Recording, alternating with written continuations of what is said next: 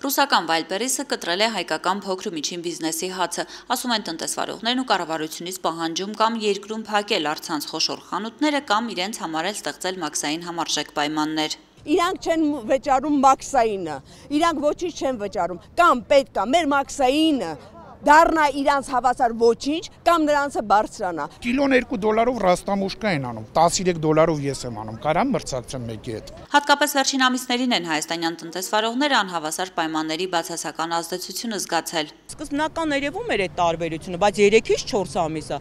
շատ ահավոր է, էլի արդեն չենք կարողանում։ Պատկերացրեք, որ 100 անգամ գալիս են ասում են տեղի գումարը չեք մուծել։ Դպրոցի սեզոնը ցույց տվեց, որ բոլորի 80% ապրանքը չվաճառվեց։ Իդեպ տնտեսվարողները համաձայն չեն կառավարության պնդումների հետ, թե պետությունը տնտեսական աճ ունի։ Իրենք էլ այդ տնտեսության մի մասն են ու իրենց վիճակն այժմ ծայրահեղված է։ Չեմ կարծում, որ տնտեսական աճ կա, մեկ ամսվա կտրվածքով 15 հոգի փագել է երկիրն, ալեքի Ամերիկայի Միացյալ Նահանգները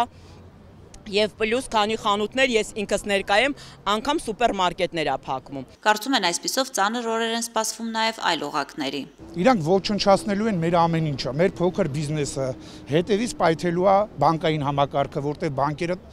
միլիարդավոր դոլարներ ներարկել են բիզնեսի մեջ, ով է իրանց փողերը տալու։ Ամեն քաղաքացի 5 տարին մեկ իրավունք ունի սննք ճանաչվելու։